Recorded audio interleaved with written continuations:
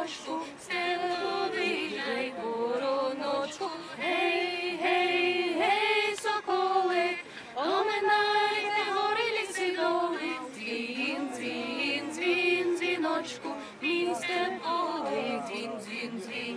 Хочу подякувати, тому що нас тут у Германії дуже сильно прийняли, обійняли, накрили ковдрою та дали нам дому. Ми так би без дому б ми б не вижили. б. Я не можу казати, вибачте, не можу. Рік тому це було дуже важко. Це було дуже важко, але ми вам дякуємо. Ви нас прихистили і ми дякуємо і все. Філін, філін данк. Жаль,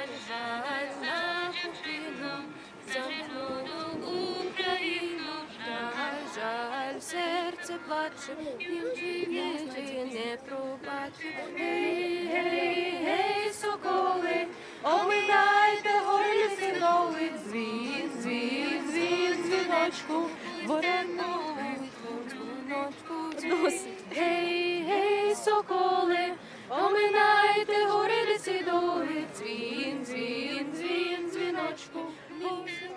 Ich erinnere mich an alle Sachen, die waren 24. Februar und was, das war ja so schrecklich und ich kann das mich nicht vorstellen, dass ich schon hier in Deutschland ein Jahr bin und das ist für mich so unglaublich, sage ich das so. Und ja, ich habe noch in der Ukraine Deutsch gelernt, deswegen kann ich schon ein bisschen Deutsch und ich habe auch hier gelernt. Und deswegen, ja. Mein Vater ist da in der Ukraine, meine Oma und mein Opa ist da, meine Cousine, meine Tante, also fast ganz meine Familie. Ich bin hier mit meiner, mit meiner Mutter und mit, meiner, mit meinem Bruder. Und ja, ich vermisse alle meine Freunde und meine Oma, Oma Opa und O- Vater, weil ich habe die schon ganz Jahr nicht gesehen. Ja, und das ist schwer. Also ich gucke die, d- äh, ich gucke jeden Tag die Nachrichten und ich stelle das mir alles vor und mein Vater auch sagt etwas uns, also was da passiert und meine Omas äh, mit Opa auch sagen mir alles über die Ukraine und deswegen ich kann einfach nicht, ich darf einfach nicht über meine Heimat vergessen. Ich glaube, dass ja, Deutschland muss die Waffe schicken, weil wenn äh, ich würde sagen, dass Krieg noch ziemlich lang dauern wird und wenn äh, der Ukra die Ukraine wird, naja, wie, wie heißt das auf Deutsch? Naja, ich weiß es nicht, also verloren, ja, dann wird es weitergehen. Also Krieg wird hier auch schon sta- stattfinden und dann wird es auch in Deutschland passieren und dann wird es noch schlimmer. Alles gut bei ihm, aber wir, wir wissen, dass da noch gefährlich ist und vielleicht noch was, vielleicht passiert noch was mit dem. Also er erzählt uns nicht alles, was da passiert, aber geht gut. Also sie vermissen uns auch. Und mein Vater ist jetzt da alleine und ja, ohne seine Kinder und ohne seine Frau. Und das ist so schwer. Я б казала б це на українській мові, тому що як вже росіяни там кажуть, вони щоб ви розуміли на своїх виставах вже співають пісні українською мовою. Але чесно кажучи, для мене це приємно, тому що навіть в Росії вже почали використовувати українську мову. Тому чому би ні? Ну, якщо воно таке дурне, хто йому. Хто У мене просто нема слів, що йому можна ще сказати. Я вважаю, що якщо він навіть помре, ці всі гріхи ну, не окупляться йому. Він взагалі дуже багато людей погубив. Ну це просто незлічена кількість мертвих людей. Ну це стільки горя, це стільки болі, це стільки ненависті до них, що просто неможливо зараз це описати словами. Ті люди, які там не були, вони не мо- не можуть собі це просто уявити. Але тут ми зустрічаємо таких людей, е, які розмовляють на російській мові. Ну, може, навіть і німці чисті, але, чесно кажучи, ні, чистих німців я дуже рідко зустрічала, які нам казали щось погане. А ось е, люди, які вміють розмовляти на російській, вони чисто підтримують Путіна, хоча вони там навіть не були ні одного разу, вони не були в Україні, вони нічого не знають про цю війну. Але вони говорять такі речі, які просто вони не можуть собі уявити. І ну, це дуже страшно. Naja, ich habe gesagt, dass ja er tot so viele, so viele Menschen sind gestorben und das ist einfach unglaublich. Und naja, eine Leute, die sind hier, die wohnen hier, also die auch auf Russisch sprechen können. Sie sagen uns immer irgendwelche scheiße Sachen. Und ich sage das Das heißt, ihr werdet beleidigt. ja, also gemobbt sogar. Ich war auch in der Schule schon gemobbt. Сьогодні, я думаю, для кожного українця один із е, найстрашніших днів е, у пам'яті, тому що те, що пережили українці 24 лютого, е, мало хто взагалі має такий досвід. І я вважаю, що те, що робить зараз Росія в, Україні, і те, що робить зараз Росія по всьому світу, це е, жахливі речі, які не можна пробачати ніколи. Ich habe gesagt, dass äh, diese Dinge, welche äh, russische Leute jetzt auf der Ukraine, äh, in der Ukraine machen, das ist echt hässliche Dinge auf der Welt und äh, je- äh, niemand äh, äh, soll diese Dinge, ähm, äh, як сказати, переживати, äh, fühlen. Ja, diese Dinge fühlen, äh, das ist äh, es ist sehr weh. Ich wohne in Wetzlar äh, seit elf Monaten. Jetzt lerne ich Deutsch mit meiner Freundin. Natürlich, alle sind äh, meine Freundin, ja. Und ich arbeite äh, schon, aber ich möchte natürlich äh, nach der Ukraine zurückkommen. Äh, Ich, äh, der Ukraine braucht mehr Waffen, weil ohne Waffen können die nicht, ähm, nicht machen. In äh, Russland wohnen äh, mehr als äh, 140 Millionen Leute und in der Ukraine wohnen jetzt vielleicht äh, 24 Millionen Leute. Und das ist sehr schwierig, wenn ein großes Land gegen ein kleines Land und ohne Waffen, das geht nichts, ich denke. Was würde sie Putin gerne sagen? Wenn Putin hier vorbeikommt, was Nichts. Ich will nicht mit ihm sprechen. Ich habe, ich habe kein Wort für diese, Das ist diese Mann und das ist. in- Kann ich auf Englisch etwas sagen? Ja. It's not only his fault about this war, I think, and uh, it's like not only Putin made this war in Ukraine. It's also people in Russia who support Putin. Of course, there are some people who are against, but I think more, like more of them, they are supporting, and I have no words for them, because what I can say, these people who destroyed our houses, who destroyed our lives, who killed our friends, our families, and yeah, I'm a bit angry, and I have no words. Vor einem Jahr hat jeder Ukrainer seine Koffer gepackt. Ich nenne es einen Koffer des Vervoreinigung und ohne Macht. Unsere Kun- Zukunft wurde von russischen Raketen attackiert, von russischen Waffen russischer Armee zerstört. Jeder von uns hat neue Weg gefällen soll. Jemand an die Front, jemand im Keller, jene, jeder nach anderen Ländern. Viele ukrainische Kinder, Frauen, Männer und Soldaten haben ihr Haus im Himmel gefunden und lassen Verwandte zurück. Aber wir haben Glück.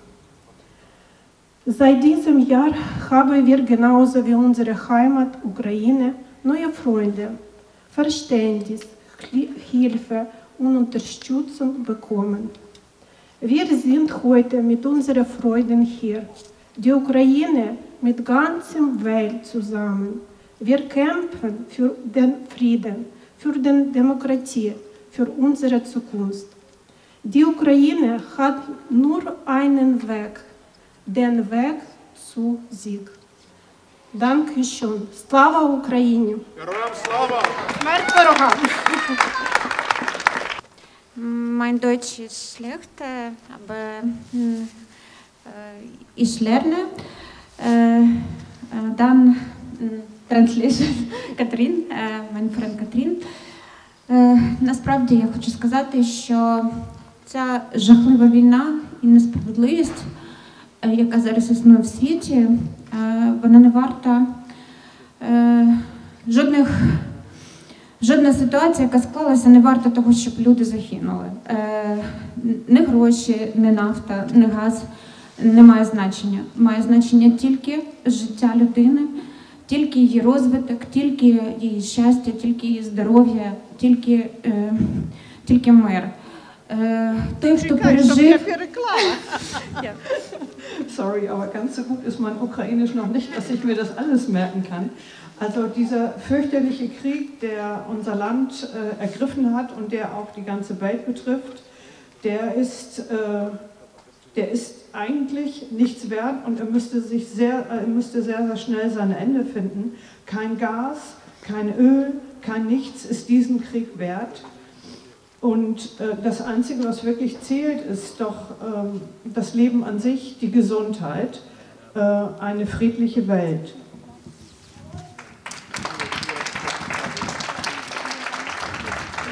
Е, Тому завдяки тільки е, вашій підтримці, підтримці всього світу, ми зможемо разом е, перемогти те зло, яке існує зараз в вільній Україні. Ми завжди були на стороні правди, і жодна країна не може порушувати наше право на існування, на життя, на розвиток, на справедливість. Тому. Е, Dank für äh, Ihnen ähm, Hilfe. Слава Україні! Героям слава! Ähm, also kein, wie sie sagte, keines, ich versuche jetzt gerade mal wieder den Faden zu finden, äh, keine Rohstoffe können diesen äh, Krieg wert sein und ähm, es gibt keine Rechtfertigung, dass wir überfallen werden und unser Recht auf Bestehen uns genommen werden soll. Wir haben das Recht zu bestehen und wir danken der Welt, dass sie an unserer Seite steht. Vielen, vielen Dank dafür. Dann eben Ruhm der Ukraine, Ruhm den Helden. Das ist übrigens ein alter Ruf schon von der Unabhängigkeitsbewegung, wenn ich das mal jetzt, das erzähle ich wieder von, kommt von mir erklären, für die, die weniger bewandert sind in der ukrainischen Geschichte, äh, ist äh, aus der Unabhängigkeitsbewegung Anfang des letzten Jahrhunderts. Also es dauert schon so, bis sie, dass sie bestehen wollen dürfen. Е, Вже цілий рік Україна змагається, така маленька тендітна Україна, але вона е, бореться з неправдою, з ну, мені це нагадує такого здорового волохатого звіра, який напав і хоче вбити. Україна маленька і тендітна, вона змагається, вона перемагає. Вона перемагає, тому що вона захищає свою землю. І ми з вами добре знаємо з історії, що жодна диктатура ще не вигравала, тому що вона базується лише на брехні. І я думаю, що настане день, коли ми з вами будемо празднувати нашу перемогу. І я дуже вдячна вам всім за підтримку. Ми вже цілий рік живемо в Німеччині і відчуваємо кожного дня цю підтримку і ну, таку турботу за- за кожного. І це окрилює. Велика вам вдячність за, за нашу підтримку і за підтримку України. Дякую. Also seit einem Jahr ist nun dieser schreckliche Krieg im Gange, in dem auch unser Land, und sie sagte, unser kleines Land, da möchte ich nochmal als Dolmetscherin dran erinnern, immerhin so groß wie Frankreich, äh, 45 Millionen Menschen. ähm, kämpft um sein Bestehen und sein Recht darauf, unabhängig zu bestehen, erinnern wir uns an die Geschichte. Also in der Geschichte ist es bisher immer so gewesen, äh, dass Diktaturen letztendlich zu Fall gebracht wurden und äh, mit unserer Widerstandsfähigkeit, unserer inneren Kraft und auch unserem Wunsch als Volk unabhängig bestehen zu können und mit der Hilfe der ganzen Welt werden wir diesen Sieg erleben und erreichen.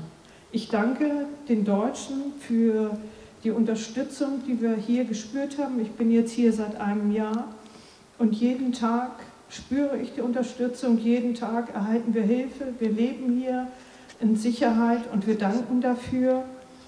Diese Unterstützung beflügelt uns alle. Vielen Dank.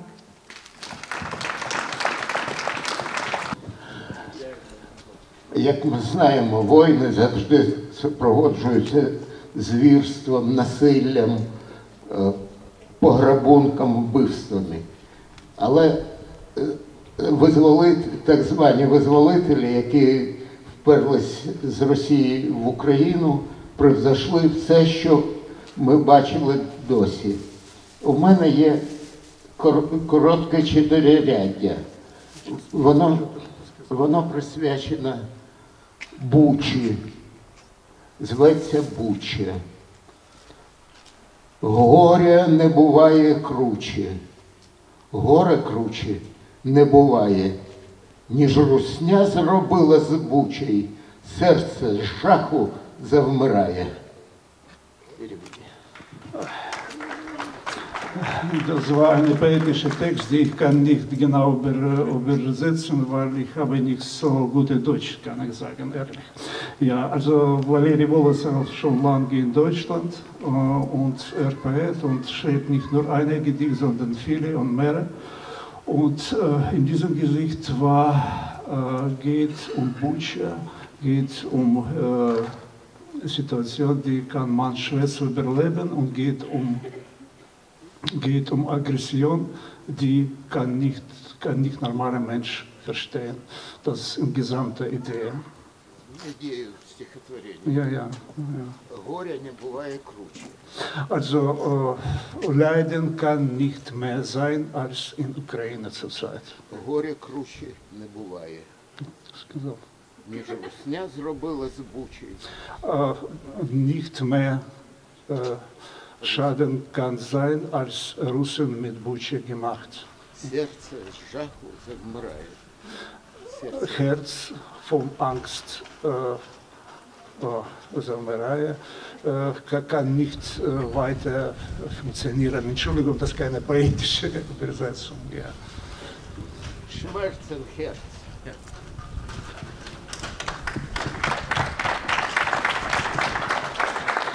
Vielen Dank. Wir, wir teilen Ihren Schmerz und deswegen sind wir, sind wir heute hier. Im vergangenen Jahr sind durch Putins Angriffskrieg Zehntausende Zivilisten und Soldaten ums Leben gekommen.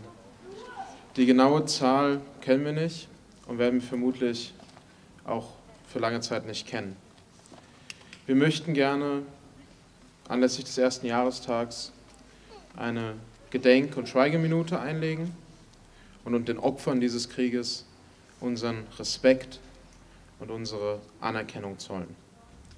Um diesen Personen, dieser unfassbar großen Zahl an Menschen ein Gesicht zu geben, haben wir einige Biografien ausgewählt, um zu zeigen, dass diese Menschen, die mitten aus dem Leben gerissen wurden, keine Fremden waren, sondern Europäer wie du und ich.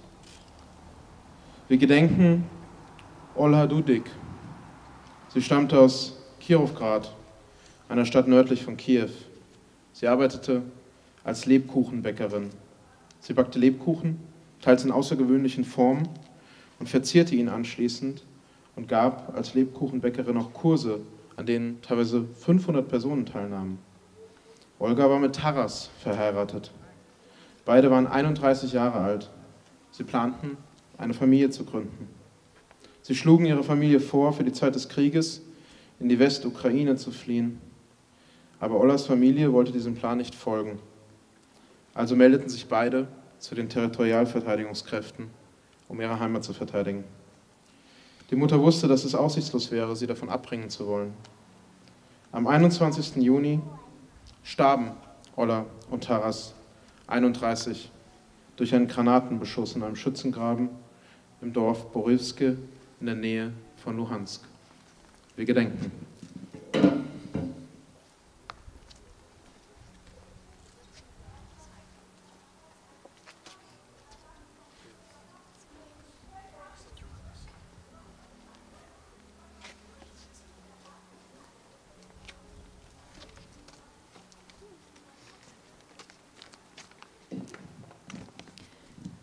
Wir gedenken Viktor Duda. Viktor Duda war 44 Jahre alt und arbeitete als Journalist bei einer ukrainischen Zeitung Express. Er war glücklich verheiratet mit Oksana Duda, die ebenfalls Journalistin ist, wie Viktor Duda. Während des Studiums kennengelernt hatte und mit der er eine inzwischen 21-jährige Tochter hat, ebenfalls Journalistin.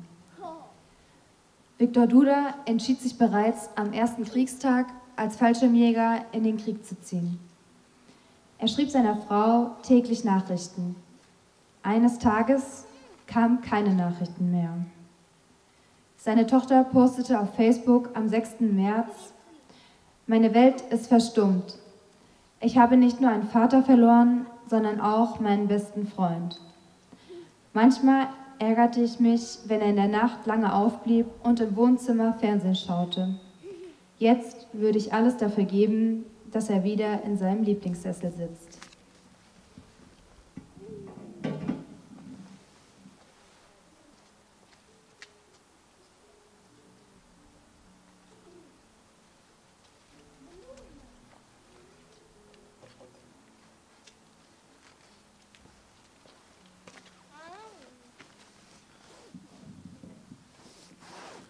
Wir gedenken Lisa Dmitrieva. Lisa war gerade einmal vier Jahre alt. Sie wurde bei einem russischen Angriff auf die Stadt Venezia getötet. Sie war ein fröhliches Mädchen, das unter Down-Syndrom litt. Lisas Mutter Irina Dmitrieva wurde bei dem Angriff schwer verletzt und lag während der Beerdigung ihrer Tochter im Krankenhaus auf der Intensivstation. Die Familie hat der 33-jährigen Mutter nicht von der Beerdigung der Tochter erzählt, weil befürchtet wurde, dass sich ihr Gesundheitszustand dadurch verschlimmern könnte. Im Sarg trug Lisa einen Blumenkranz im Haar.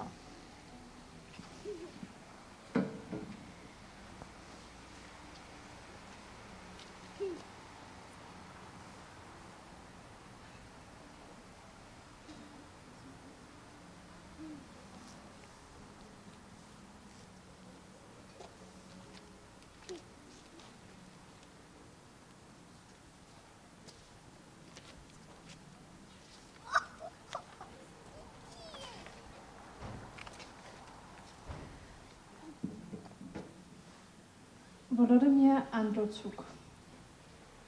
Volodymyr Androchuk war ein junger Zehnkämpfer. Er war Jahrgang 2001. 2019 wurde er ukrainischer Meister im Zehnkampf. 2020 wurde er bei den U20-Europameisterschaften Sechster. Er galt als großes Talent und Medaillenhoffnung. Eigentlich wollte er bei den nächsten Olympischen Spielen antreten. Vor vier Wochen am 25. Januar fiel er in der Verteidigung von Bachmut im Donbass.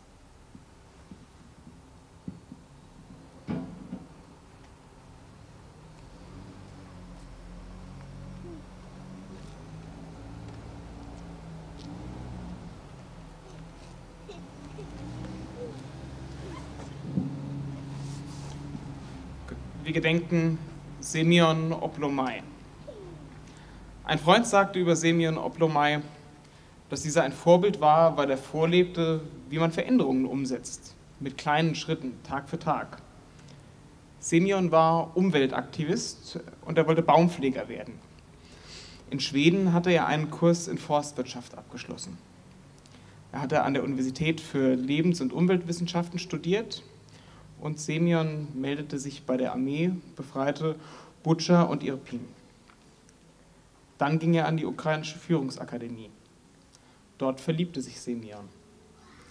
Am 9. Juni heiratete er und zwölf Tage später griffen die Russen aus der Luft ukrainische Stellungen an.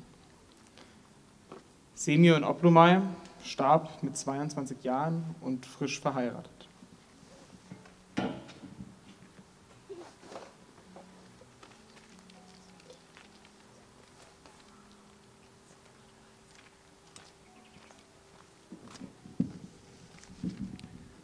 Wir gedenken Vitali Sapilo.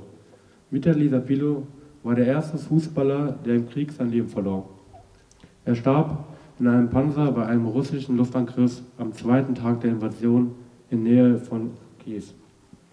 Sein Vater berichtete, er wollte unbedingt kämpfen. Erst ging ein Panzer kaputt, dann der zweite. Aber er wollte auf gar keinen Fall die Front verlassen. Sapilo war 21 Jahre alt und Torhüter. Er spielte für den Verein Karpativliv in der dritten Liga und galt als großes Nachwuchstalent.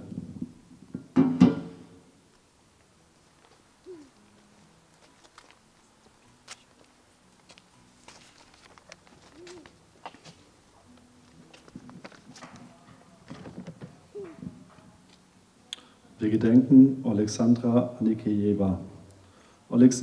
Alexandra Anikejeva war Studentin an der Polytechnischen Universität in Kiew. Am Institut für Publishing und Printing wollte sie die Kunst des Buchmachens lernen.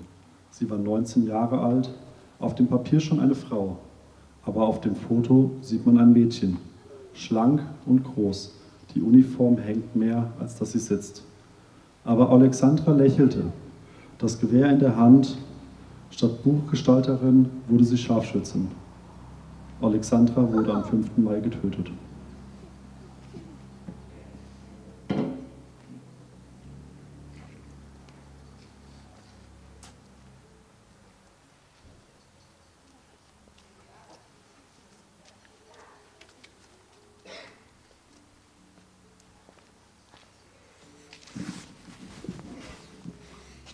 Wir gedenken Alina Perehudova.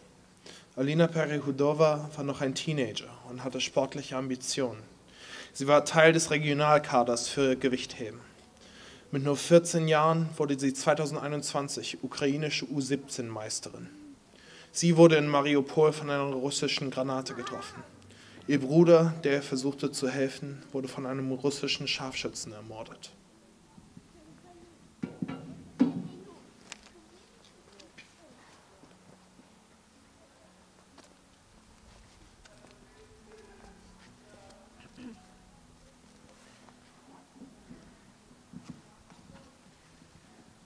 Und wir gedenken Nina Quascha. Nina Quascha hatte vor dem Krieg eine medizinische Ausbildung absolviert und einige Jahre gearbeitet. Dann schloss sie sich der Armee an und wurde Kampfsanitäterin. Ihr Rufzeichen war Amazone. Ihre Einheit wurde direkt an der Front eingesetzt. Mitte März wurde Nina nach Moschtschun in der Nähe der Stadt Hostomel nördlich von Kiew beordert. Die Russen versuchten, den dortigen Flughafen zu erobern. Zwischen dem 12. und dem 14. März legten die Russen Moschun in Schutt und Asche. Dann irgendwann muss Nina 23-jährig gestorben sein. Genauer ließ sich ihr Todeszeitpunkt nicht mehr bestimmen.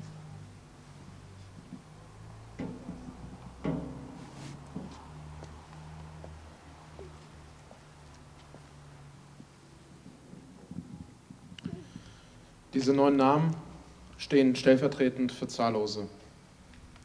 Ich bitte Sie, alle einen Moment des schweigenden Gedenkens einzulegen.